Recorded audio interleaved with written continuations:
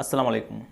Welcome back to my channel Bong English tutorial no tuition no fees only support my channel Bong English tutorial come back again with a new topics of confusing verbs অর্থাৎ যে ভার্বগুলি use করার সময় আমরা বিভিন্ন রকম কনফিউশনের মধ্যে পড়ে যাই।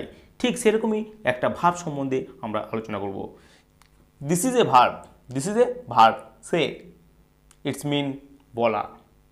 And another verb is tell its mean also bola the same meaning of two verbs say and tell but when we use say and tell তাহলে সে মানে হচ্ছে বলা আবার টেল মানে হচ্ছে বলা কিন্তু আমরা কখন সে ইউজ করব আর কখন টেল ইউজ করব this is the main topic of today class so let's discuss At first, we should know the verb forms of these two verbs. Say, this is the present form. Say, past form said and past participle also said. And another verb tell. Tell is the present form. Past form is told and past participle also told. One thinks that say is intransitive verb.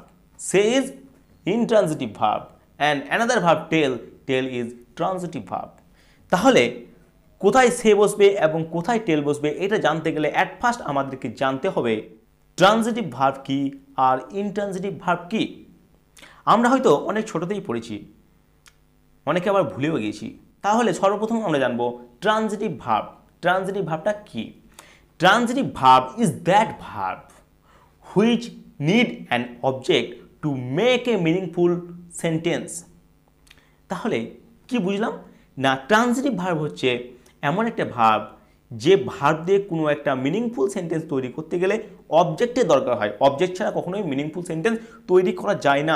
সেই ভার্বগুলোই হচ্ছে transitive verb তাহলে যে verb object ছাড়া একটা অর্থপূর্ণ sentence তৈরি করতে পারে না, তাকে বলে ট্রানজিটিভ ভার্ব এবার জানব ইনট্রানজিটিভ ভার্ব আগে জানলাম ট্রানজিটিভ ভার্ব তাহলে ইনট্রানজিটিভ ভার্বটা নিশ্চয়ই তার উল্টোটা হবে, তাহলে কি হবে?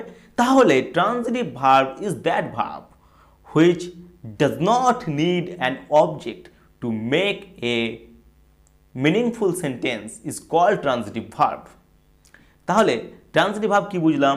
না ট্রানজিটিভ ভার্ব হচ্ছে সেই ভার্ব যার একটা অর্থপূর্ণ সেন্টেন্স তৈরি করতে গেলে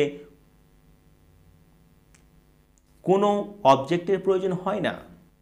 তাহলে ইন্টারন্সিটিভ ভার্ব হচ্ছে সেই ভার্ব যে ভার্বের কোনো অবজেক্টের প্রয়োজন হয় না একটা অর্থপূর্ণ বাক্য তৈরি করার জন্য।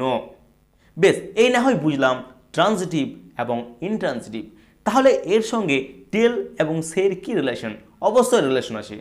The relation between the tell and say is tell is transitive verb and say is intransitive verb তাহলে এখান থেকে আমরা বুঝতে পারছি যে টেল যদি ট্রানজিটিভ ভার্ব হয়, তাহলে টেলের অবশ্যই অবজেক্ট থাকবে। আর সে যদি ইনট্রানজিটিভ ভার্ব হয়, তাহলে সে এর কোনো অবজেক্ট থাকবে না। কীরকম তাহলে আমরা বলি বলার কথা। যেমন, আমি তাকে বললাম। আমি তাকে বললাম আই টোল্ড হিম কেন টোল্ড হিম হবে? আই সে হিম কেন হবে না? সে হিম যার পাস্ট টেন্স কিনা? সেইড তাহলে আই সেড হিম তো আমি বলতে পারতাম। আই সেড হিম আমি তাকে বললাম, কারণ সে মানেও বলা টেল মানেও বলা। কিন্তু যদি আমি বলি আই সেড হিম তাহলে এটা হবে অ্যাবসোলুটলি ইনকারেক্ট কেন ইনকারেক্ট না, সে হচ্ছে ইন্টেন্সিটিভ ভার্ব যার কোনো অবজেক্ট থাকে না। তাহলে এখানে যখন অবজেক্ট রয়েছে, তাহলে আমি সে ইউজ করতে পারব না। কারণ সের অবজেক্ট আছে আর সে ইন্টারনজিটিভ তাহলে সে যেহেতু ইন্টারনজিটিভ ভাব, তাহলে তারপরে কখনোই অবজেক্ট থাকতে পারে না। তাহলে যেহেতু এই বাক্যে অবজেক্ট আছে, যে আমি তাকে বললাম, সেই ক্ষেত্রে আমি এখানে সে ইউজ করতে পারব না, আমাকে ইউজ করতে হবে টেল অর্থাৎ টোল্ড তাহলে যখনই অবজেক্ট থাকবে, তখনই আমরা বলা অর্থে ইউজ করব টেল যার পাস্ট টেন্স টোল্ড আর যদি অবজেক্ট না থাকে, তখন আমরা ইউজ করব সে। তাহলে আমরা সে কোথায় ইউজ করব?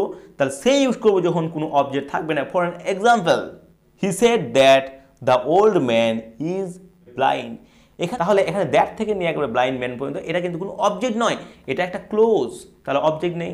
যখনই অবজেক্ট থাকবে না, তখনই আমরা ইউজ করব সে।